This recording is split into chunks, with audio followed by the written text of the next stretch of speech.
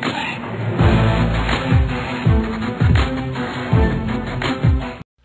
Now, at first, the idea was great. The current roster that you get with this game is very solid. The team ups idea are overall really well thought out. The only problem is, everyone does the same goddamn damage. The damage system is equal for everyone, so you may have a strong grappler type character like Zangief, but it's all rendered useless because he's gonna pull the same damage as Sakura. At the same time, co-op idea, great material. Your online co-op, having me and my best friends team up online to fight other people, Mortal Kombat style, well thought out. But at the same time, lacking in personality. I mean, all the tag teams are quite generic. Ryu and Ken, uh, having Steve Fox with Hwoarang. Uh, the tag teams are quite generic. They don't seem to have personalities. Um, a thing that could have added personality is adding the Tekken Tag 1 style introductions uh, when it comes to intro, as if if the tag team doesn't like each other, then they're just gonna stare at them or stare at each other blankly and hate each other. Um, another example would be having introductions like King of Fighters, where there are special intro animation depending on who's fighting who or who's with who. That would add a spice of personality to your team up feature, but so far, it all feels like just generic tag team. I'm with you, and you know, we're gonna have our separate intro, but we're not really fighting as a team. Except when you're talking about Zangief and Rufus. That was a funny, cheesy intro. Uh, at the same time, I gotta add up. You guys have some interesting intro and ending when it comes to Street Fighter Cross Tekkens. Um, the introduction artwork, very similar to Tekken 5, and I think it was there in Tekken 4. And the CG ending, which is another staple of Tekken. This is where you can see the smart look when it comes to um, taking what's from Tekken and how can I implement it into this crossover game. Very well thought out. I just wish there were more personality to it.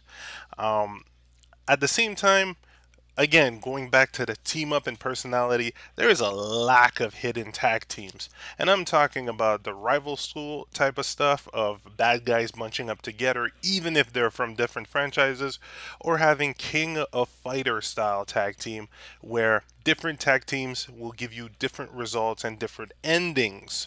So that's another thing that could have been used and if uh, the designers weren't so strictly focused on let's try to make it uh, a bit more like Tekken, they would have looked around and seen what worked with other tag team games or interesting stuff that could have worked.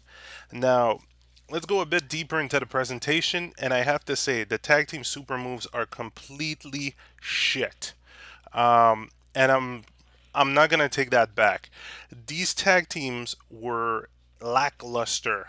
Uh, it's basically I do my super move, then I pass it off to you, and you do your super move. What kind of shit is that? This is Capcom we're talking about. This is the same studio that had Rival Schools, which had delicious tag team action. Seriously, it was a very simple script where each tag team moves or double team moves were affected by the second partner. So, whichever character had um, a tag team move that was choreographed for them, and they would bring in the other character to have that team up. Instead of having my super move, I pass it off. Now you do your super move. Hell, you could even look back at a game like Street Fighter EX3. It had better team up super moves than this game because every team up super moves were unique. And of course, it went with specific teams. So that one is a bit more of a doozy because you have to be that team. But if you look back at Rival School, they could have tag teamed like that. They could have used the same type of code. Just give a tag team super move um, mechanism to all the characters so that their partner character would be dragged in to the choreographed move. Hell, I don't care if I see Sagat doing a Hadouken or if I see Rufus pulling a Hadouken. Stop trying to be serious business. This is a crossover game. Now, I gotta get back to it, but I gotta say, uh, the colors were good. It's really bright, lavish color. It's not trying to be dark and deep, and it just sinks in at the same style. Um, but again, going back to the super move, and I know I'm doing a lot of back and forth. Uh, the super moves looked way too similar to Street Fighter 4. Uh, especially for the whole Street Fighter cast, I can see them cutting corners when it comes to the um, supers.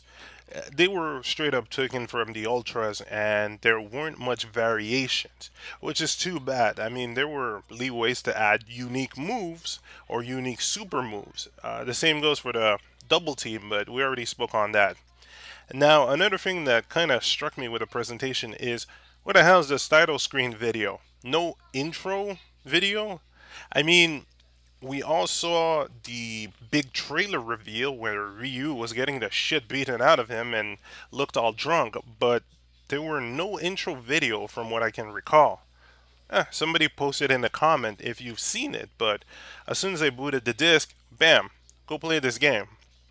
Now, when it comes to music, there were some interesting Tekken 2 and Final Fight remixes. I especially commend this remake of the Tekken 2 Heihachi music, and the, I think it's there's a bit of Tekken 3 Heihachi music as well for the Mishima Mansion. Wow, great! Because Tekken composers, when it came to Tekken 2 and Tekken 3, had a lot of attitude. Um, and hell, even the Final Fight remixes for the Mad Gear Headquarter, the Rolento remix, uh, the Abigail Dance remix, good stuff, you know? And I will give an extra thumbs up when it comes to the mid boss battle with Juri and Bison. That was a beautiful mix of both themes um, by just combining it slowly and giving you this eerie, dark feeling that you are fighting two of the darkest Street Fighter characters alive. Same goes for the Akuma theme and the Ogre remix. Good work on that. But um, when it comes to the rest of the music, when it's not character oriented, again, the Street Fighter 4 composer is lacking. Lacking badly. It feels like he does not know how fighting music works. He does great remix tracks it, to a certain degree, except um, bit of an exception was slowing down the Street Fighter 4 Volcanic team for the rival battle. Terrible decision. It's Volcanic Rim. You speed that shit up. You hype it. You add more rock to it. You do not slow it down. And this is my big issue. I gotta open up this bracket about the SF4 composer.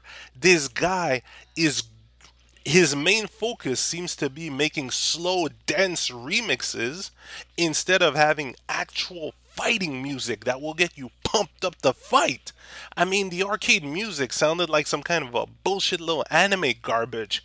Hell, uh, the Marvel vs. Capcom 2 music sounds even better compared to this because this was a lot of high pitched screams, especially when it comes to the half pipe type of songs, along with slowed down songs. And it doesn't have that environment, that presence to get you psyched up for a fight. I mean, I gotta admit, when it comes to other games like BlazBlue and Guilty Gear, they do have their slow song and cheery song, but they are upbeat and they keep you pumped up for this kind of weird, wacky fight. This just felt like washed up attempt to do beats, and I have nothing against the guy personally, but ever since I started listening to his music from Street Fighter 4, where he slowed down most people or most characters' teams, to Marvel vs. Capcom 3, where some of the soundtrack just felt botched and others, you know, had that hyped um, to this where it just feels like he didn't care. He really didn't care at this point. But I think I do not think this guy is the right uh, person to do musics for fighting game. He does not seem to have this fire that other teams had. Hell, even if you look back at Street Fighter versus X-Men, or Marvel versus Capcom 1. They were remixes, but they had uh, passion, they had attitude, they had hype, you know. You weren't slowing down. No, you would just go in there and fight, you know. But you would, the ultimate test is you try to set up these musics into other fighting games and see if you get that much hype, and you don't. You just don't. So, ending bracket on this. Um, now to move on to system wise, what the fuck was up with that DLC bullshit? I mean, seriously, hidden characters on disc that you were having, you know, you wanted me to pay an extra amount to unlock on the disc? Nah, nah, Capcom. Um, there's been multiple articles and video on this, but Capcom just dropped the ball on this one. And I believe this is what caused, or this is a big factor in what just tanked that game. Um, as well as the gem system rendering a lot of things unbalanced. Um, it was an interesting idea, but they clearly did not think about balance. And it's too bad because, to a certain degree, you want um, a bit of balance for a crossover game. But eh, I can't complain too much. Um, at the same time, I do like, and I mean, I do like the representation of the Tekken characters when it comes to the rival cutscenes. Uh, lots of attitude to a certain degree. You can see, you know, they're keeping the Tekken character attitude mixed in with the Street Fighter attitude, uh, which brings up a very interesting crossover situation when you came or when you come to those rival battles. Yet, um, again, I kind of wish that same kind of attitude would be present in the character introduction or having different kind of team ups, you know, hidden team ups. There were nothing really um, hidden when it comes to that game, nothing really surprising when it comes to that game. It just felt like a quick mash. Um, and I can kind of see how they wanted to put a bit of balance by uh, putting all the character into the same damage ratio, but this just felt a bit lackluster, and it's kind of hilarious to see uh, big characters doing as much damage as a little schoolgirl with high punches. So that's about it. Street Fighter Cross Tekken, it had a good idea. The only problem is the execution was a bit lackluster and possibly framed into a small set of set of thinking, uh, a small track of mind, instead of expanding, looking at what previous team ups have done. Tekken Tag Tournament 1, uh, the first Marvel vs. Capcoms. Hell, look at King of Fighters. That can count as a team up. You have Fatal Fury, you have Art of Fighting, and you have a couple of other SNK franchise. So take these as examples, look, do your research, and try and spark what could cause or create a great team up scenario and what would be let's say what would be funny what would be interesting what would some of these characters say to each other? I mean an example of that and it's a lot of people are shoving it to the side i can't blame you why is SVC Chaos, SNK versus Capcom Chaos, because each character has an interaction with another at the start of a fight, and you know, sometimes you just want to see what other cheesy quote could happen. And hell, they pulled off very interesting ideas like Violent Ken, who's kind of like Shin Ken or Evil Ken, yet there's a different story you can read in the manga. Um, but yeah, look at other franchises, trying to pick better ideas, and seriously change composers. You could even go back to the people who did who composed the music for Third Strike because they knew what kind of fighting musics they wanted to do. Uh, the current composer, he has a few ideas, but he's in another set of mind, which does not really fit when it comes to fighting. And it's too bad. I do not want to bash on the guy. This guy has a lot of talent, but fighting music is not his thing. So let's wait and see what's gonna happen for Tekken versus Street Fighter because you know this is still pending and I will see you guys next time with another title back for the game design run back.